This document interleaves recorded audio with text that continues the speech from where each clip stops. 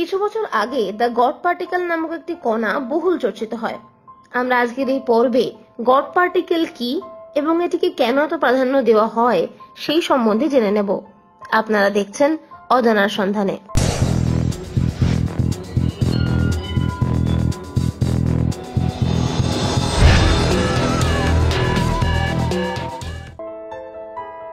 The god পার্টিকেলকে আমরা আরও একটি নামে জানি এবং সেটি হলো হিগস বোসন কণা। বাঙালি বৈজ্ঞানিক সত্যেন্দ্রনাথ বসু ও বিজ্ঞানী পিটার হিগসের নাম অনুসারে এই কণাটির নামকরণ করা হয়। হিগস বোসন কণা সরাসরিভাবে কোনো বস্তুর ভরের সঙ্গে সম্পর্কিত। তাই আমরা প্রথমে জেনে নেব যে ভর আসলে কি। সাধারণভাবে কোনো বস্তু যে অবস্থায় আছে, তার সেই অবস্থার পরিবর্তন করতে গেলে আমরা একটি বাধা অনুভব করি।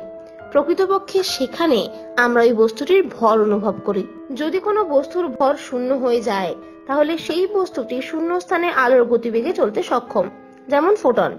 তাই বলা যায়, যে বস্তু আলোর গতিবেগে চলবে না, তার ভর বর্তমান। এখন মনে এই প্রশ্ন আসে যে, কোন বস্তুর ভর আসে কোথা থেকে? সাধারণভাবে আমাদের মনে হয়, বস্তুগুলি যা দিয়ে তৈরি, সেখান থেকে ওই নির্দিষ্ট বস্তুটির ভর আসে। যেমন একটি কাঠের চেয়ারের ভর আসে চেয়ারটি যা যা দিয়ে তৈরি তার ভরের সমষ্টি থেকে। যদি আমরা কোয়ান্টাম লেভেলে যাই, তাহলে আমরা দেখতে পাবো কোয়ার্কস হলো সবচেয়ে ছোট কণা এবং এটি দিয়ে পৃথিবীর সবকিছু তৈরি হয়েছে। তবে এরও সামান্য কিছু ভর আছে এবং ইলেকট্রন কণারও ভর আছে। এখন তাহলে প্রশ্ন আসে ফোটন ভর শূন্য কেন? বিজ্ঞানীরাও এটাই বুঝতে পারছিলেন না যে ফোটন ভর শূন্য কেন। এই সময় পিটার হিগস তার একটি থিওরিতে হিগস ফিল্ড হিগস বোসন কণা বা গড পার্টিকেলের অস্তিত্বের কথা উল্লেখ করেন।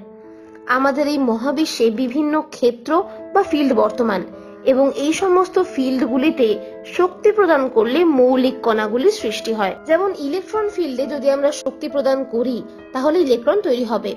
এই অবস্থাতে যতগুলি পার্টিকেল তৈরি হয়, সবগুলি ফোটনের মতো ভরশূন্য হয়। পিটার হিগস বলেন, হিগস ফিল্ড সমস্ত মৌলিক কণা, অর্থাৎ কোয়ার্কস, ইলেকট্রন প্রভৃতিকে ভর প্রদান করে। ইলেকট্রন, ফোটন বা কোয়ার্ক যখন হিগস ফিল্ডের মধ্য দিয়ে যায়, তখন হিগস ফিল্ডে অবস্থিত হিগস বোসন কণার সাথে এর সংঘর্ষ হয়। যে কণার বেশি সংঘর্ষ হয়, তার ভর তত বেশি হয়, যেমন কোয়ার্কস। এবং যার সংঘর্ষ কম হয়, তার ভরও কম হয়। যেমন ফোটনের সাথে হিগস বোসন কণার কোনো সংঘর্ষই হয় না, তাই ফোটনের ভর শূন্য। সেই সময় কোনো বিজ্ঞানী পিটার হিগসের এই থিওরিটি মেনে নেননি। কিন্তু সময়ের সাথে সাথে যখন এই থিওরিটি আলোচনায় আসতে শুরু করে, তখন এটিকে এক্সপেরিমেন্টালি প্রমাণ করার জন্য দ্য লার্জ হেড্রন কোলাইডার নামে একটি যন্ত্র তৈরি করা হয়। এটিতে দুটি চার্জ পার্টিকেলকে আলোর গতিবেগের নাইনটি গতিবেগে ধাক্কা লাগানো হয়। এর ফলে হিগস ফিল্ডে একটি আলোড়ন সৃষ্টি হয় এবং তার ফলে তৈরি হয় হিগস বোসন কণা। হিগস ফিল্ড অদৃশ্য হলেও হিগস বোসন কণা কিন্তু দেখা যায়। এবং যখন বিজ্ঞানীরা প্র্যাকটিক্যালি হিগস বোসন কণা দেখতে পান, তখন পিটার হিগসের থিওরিটির সত্যতা প্রমাণিত হয়। কারণ হিগস ফিল্ডে এনার্জি দেওয়া হলে হিগস বোসন কণা তৈরি হয়। ঠিক যেমন ভাবে ইলেকট্রন ফিল্ডে এনার্জি দিলে ইলেকট্রন তৈরি হয়। তাই যদি হিগস বোসন কণার অস্তিত্ব থাকে, তাহলে অবশ্যই হিগস ফিল্ডেরও অস্তিত্ব থাকবে। আমরা অনেকেই ভাবি আমাদের সৃষ্টিকর্তা হলেন ঈশ্বর। অর্থাৎ ঈশ্বর না থাকলে আমাদের সৃষ্টি হতো না। ঠিক সেইভাবেই যদি হিগস ফিল্ড না থাকতো, তাহলে মহাবিশ্বে সবকিছুই ভরশূন্য হতো এবং তার ফলে সমস্ত বস্তু আলোর গতিবেগে ছুটতে থাকতো। তার ফলে না পরমাণু তৈরি হতো, না অণু তৈরি হতো, না তৈরি হতো কোনো পদার্থ। অর্থাৎ মহাবিশ্বের সৃষ্টির মূলে রয়েছে হিগস বোসন কণা। তাই এই কণাটিকে দ্য গড পার্টিকেল বলা হয়।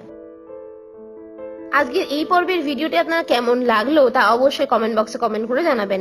ভিডিওটি ভালো লাগলে লাইক ও শেয়ার করবেন এবং আমাদের চ্যানেলটি সাবস্ক্রাইব করতেও ভুলবেন না।